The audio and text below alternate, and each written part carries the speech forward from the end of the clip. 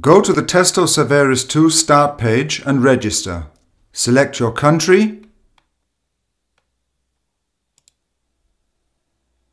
select your language and enter an email address and a password which you select yourself.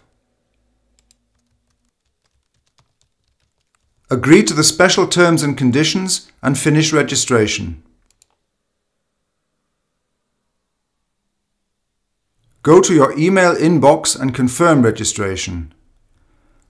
Via the link, you now automatically access the login template for the Testo Cloud. Enter your email address and the password. You then immediately access the Testo Cloud.